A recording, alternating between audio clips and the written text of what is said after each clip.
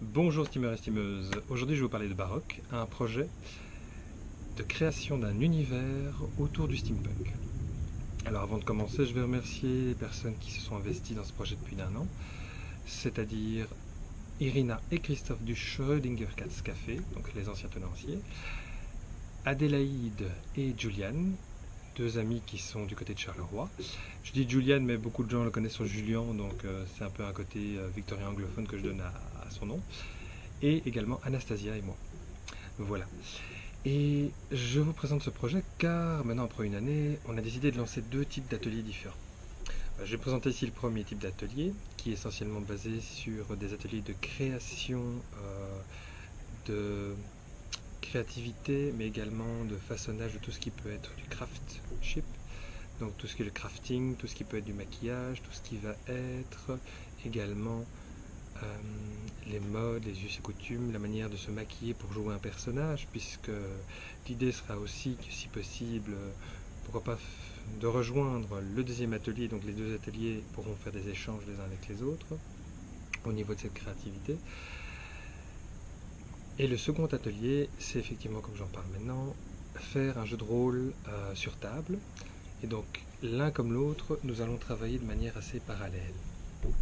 Donc ici, je vais essentiellement vous parler du premier atelier qui s'agirait par Adélaïde. Adélaïde, vous pourrez prendre en contact avec elle sur le groupe Baroque. C'est Baroque Univers Steampunk.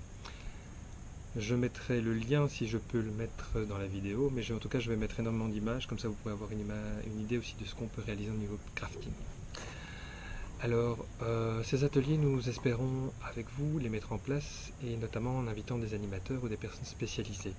Je parlais de maquillage, on connaît des body painters tels que William et François Rose et ceux-ci auront la, la capacité, une fois que nous aurons contacté et que nous vous aurons mis avec eux en contact, d'organiser euh, ces différents événements pour notamment travailler à quoi peut ressembler une espèce, quelles pourraient être ses us et coutumes, pour également penser à des ateliers couture, ainsi que, donc je disais, crafting, plus ce qui va tourner autour de la, de la mise en place au fait des instruments qui peuvent déterminer soit votre métier, soit votre espèce.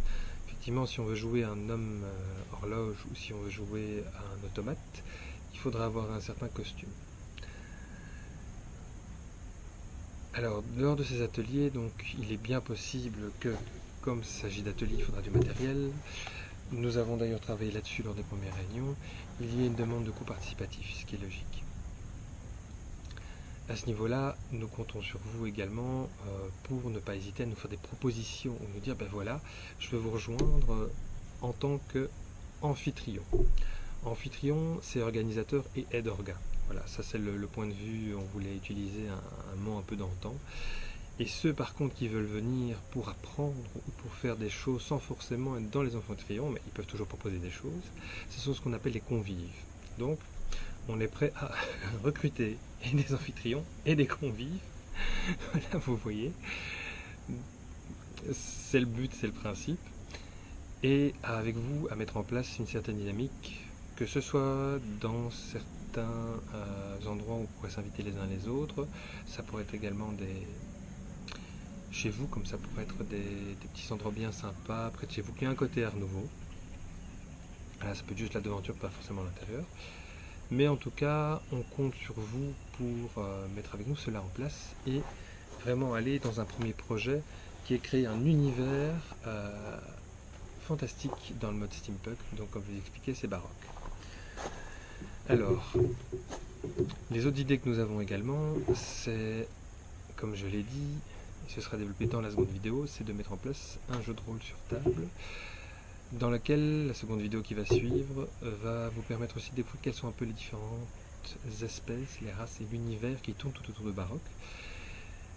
Mais en tout cas, dès à présent, vous remercie pour votre fidélité. Fidélité très importante, parce qu'on a remarqué que beaucoup d'entre vous nous ont suivis depuis le début en s'inscrivant sur le groupe. Et à eux, je voudrais lever. Euh, ah, bah justement, j'en parle. It's tea time, c'est l'heure du thé.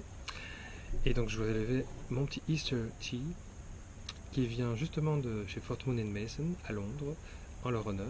Et je leur remercie déjà. Et je vous dis à tout de suite parce qu'il y aura une deuxième vidéo. Ah, ah, vous en apprendrez plus. Merci Potos et Messieurs les Davis.